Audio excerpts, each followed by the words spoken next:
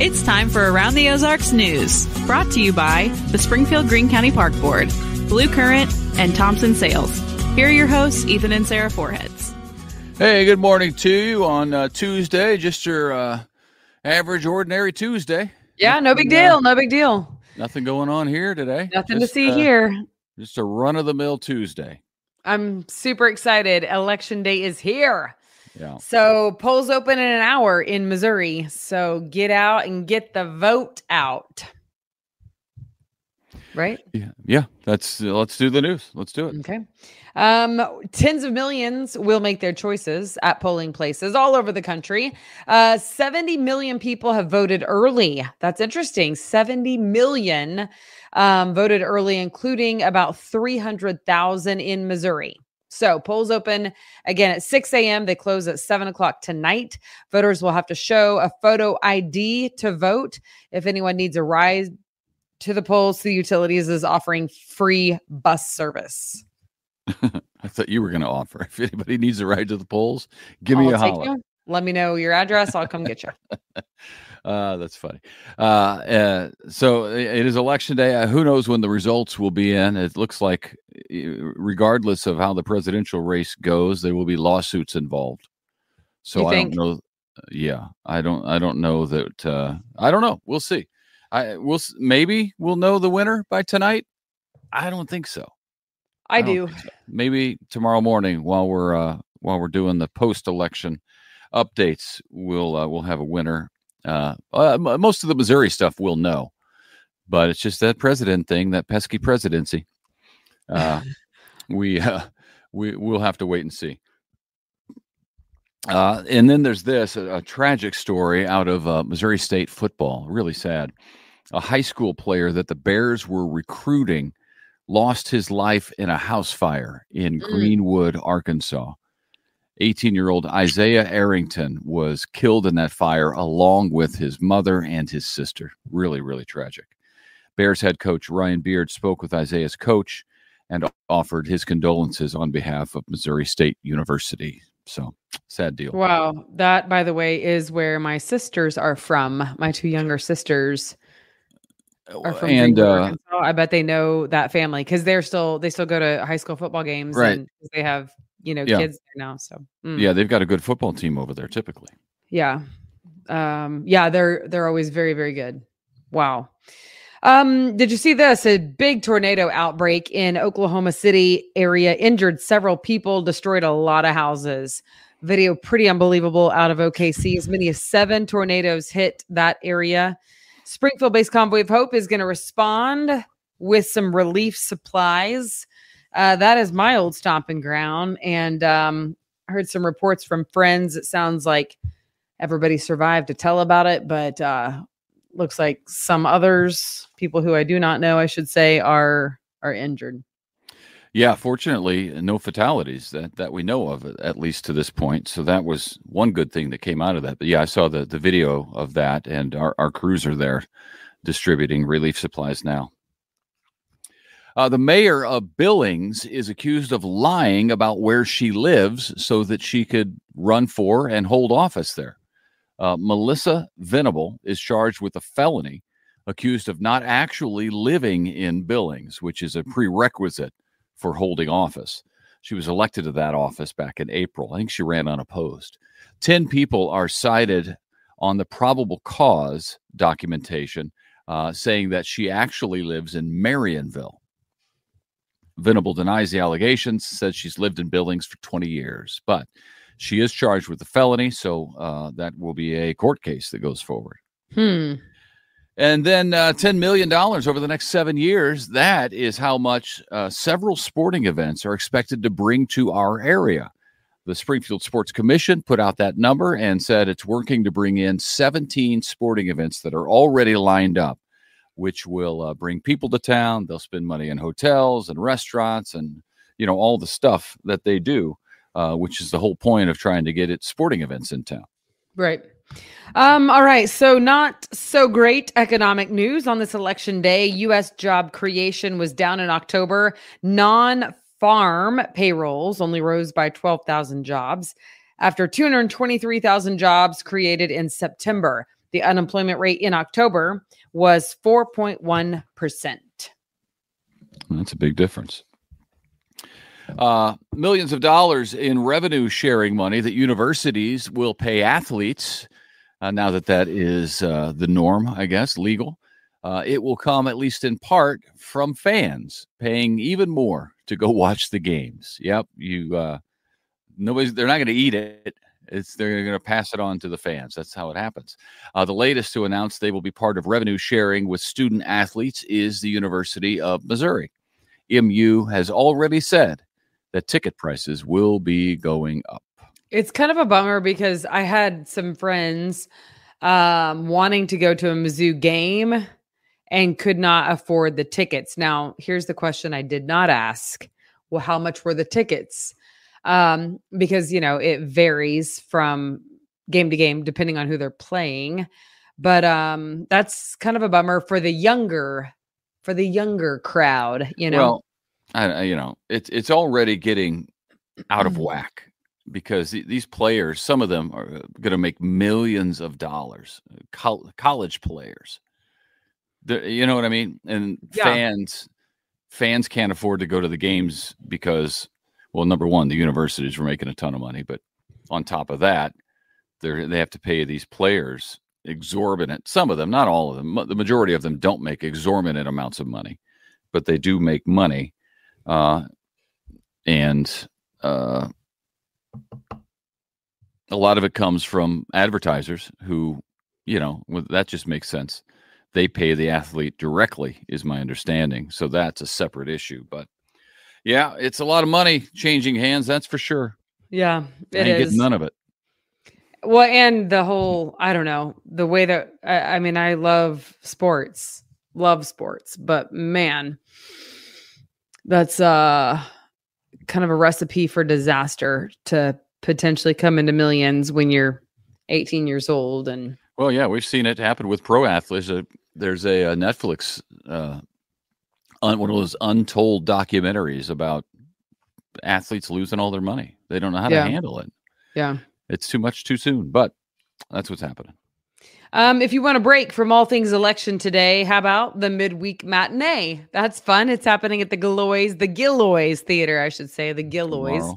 Um, yes, that is tomorrow. They are showing that darn cat tomorrow.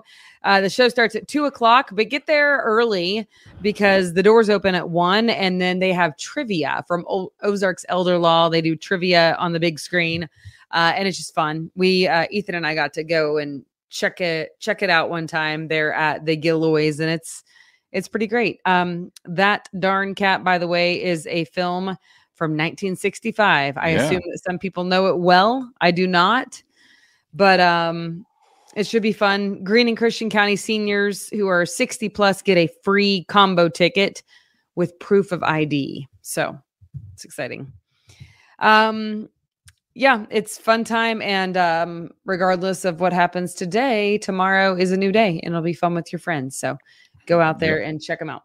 Um, all right, before we go, I want to tell you one more time about the contest happening right now at aroundtheozarks.com. You can win Chiefs tickets to the next uh, game at Arrowhead Stadium when the Chiefs play the Raiders.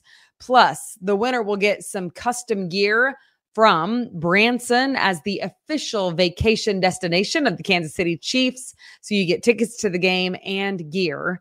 And uh, you will go to aroundtheozarks.com and click on um, contest and then scroll down to Branson Bowl. You will need the keyword, Ethan. The keyword is glamping. Keyword is glamping. Glamping also known as glamorous camping. um, all right, that's it. And we hope that you enjoy your day. Um, I'm excited. I'm excited, always excited on election day. Um, yeah, there's something about election day. It, it kind of there's a little adrenaline rush that goes along with it. There is. Uh, it's like a uh, pep in my step. I, I'm taking my mom to vote today because she is handicapped. So got to go pick her up and see how long that line will take. Hopefully not too long. Uh, back in the old Um, days when we were in newsrooms, it was always pizza night. The- the Yes, I know. I actually missed the newsroom. I wish that Bridget would have called me and put me to work today, but she did not. Uh, I can assure you, she uh, did not. The newsrooms always have pizza, so it's pizza on election night. It's a it's been Yes. a, a staple for a long time. Yeah, maybe we'll go, Ethan, tonight. Maybe so. All right. That'll do it for us. that's it. Thank you for watching. Thank you for listening. And uh, well, we'll see you tomorrow. I don't know Big what we'll know tomorrow morning. Nope. But, but See you we'll be later. here. Bye.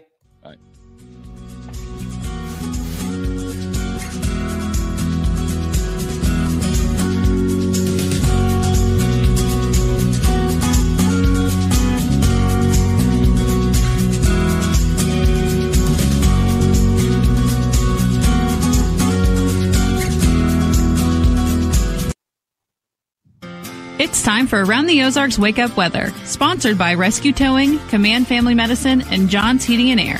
Here's your host, meteorologist Abby Dyer.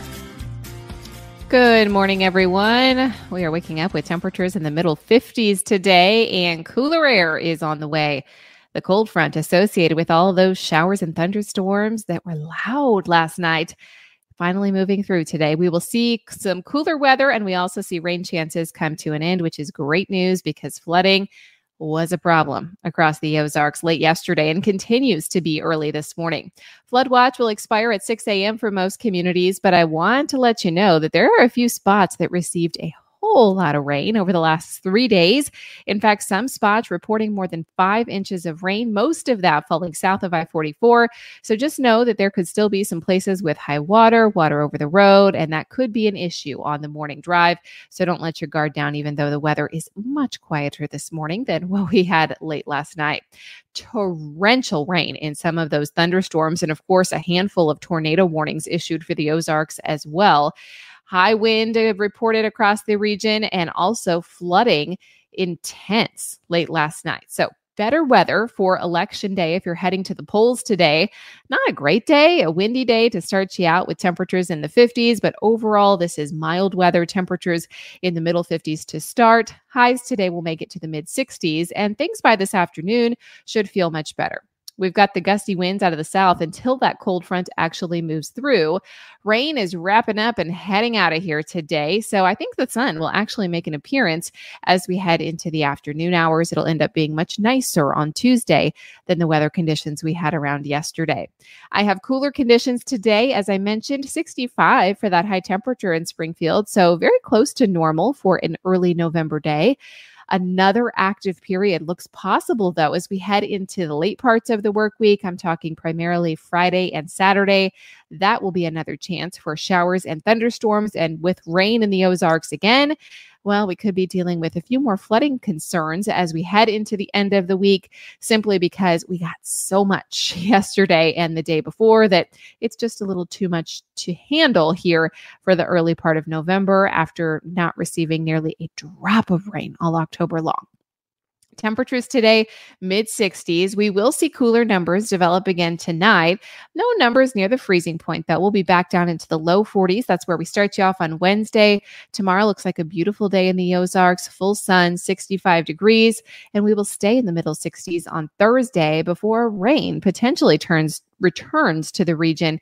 That looks to happen by the time we get to Friday. And I see a good signal for rain chances, perhaps widespread in nature again as we head into Saturday of this weekend. So early heads up on that. I'm keeping an eye on it. There are definitely still time for that to change a little bit. Around the country, the heavy rain and severe weather that we had late yesterday in the afternoon and the evening hours, it is moving east today into the mid Mississippi Valley. We also have snowfall. You've seen some of those beautiful snow topped mountains out west. Well, mountain snow and wind is setting up for the central Rockies. That happens late tonight into early Wednesday. And all eyes are on the tropics again, watching South Florida and specifically the Florida Keys again for impacts associated with a potential tropical cyclone that could become a hurricane by tomorrow, which is not what our friends in Florida need uh, as we head into midweek. So, keeping a close eye on the tropics again, you're going to be hearing about that system in the national news headlines. All right, it's time for the Around the Ozarks Wake Up Weather Brain Twister Trivia question for the day. And the question that I had with you yesterday, I know, a burning question on everyone's mind, especially on election day, but we just kind of, you know, need a different topic. How many heart chambers does a cockroach have? Do you think it is A, one, B, four, C, eight, or D, 12? Well, they seem like simple creatures, don't they? Those cockroaches. Uh, but they have quite complex heart structures. So, congrats if D12 was your guess. Uh, and potentially 13, sometimes 12, sometimes 13, depending on who you ask. The cockroach has a tubular heart uh, that some say has as many as 13 chambers. Each one receives oxygenated blood uh, through a pair of apertures, and they have a multi chambered tube like heart that is far more resistant to failure than human hearts. Maybe that's why they're so hard to get rid of. I don't know. Congrats if D12 was your guess. That is the correct answer. All right, here is your next chance to win, and it's a 50 50 shot. True or false? I don't know about you, but in my house, daylight saving time is still having big effects here on these toddlers. Uh, true or false? Daylight saving time in America was originally implemented to help farmers. Do you think that is true or false? You can take your guess over at the website. That's aroundtheozarks.com. I sure appreciate you listening to Around the Ozarks this morning. If you're heading to the polls today, maybe grab a light jacket. Temperatures in the 50s and 60s, but not too bad. We've definitely had worse weather on election day. Also, watch for flooding on roadways early this morning. Otherwise, we have dry conditions setting up for the midweek. Thank you so much to Rescue Towing Command, Family Medicine, and John's Heating and Air for sponsoring Around the Ozarks Wake Up Weather. We'll chat again early tomorrow.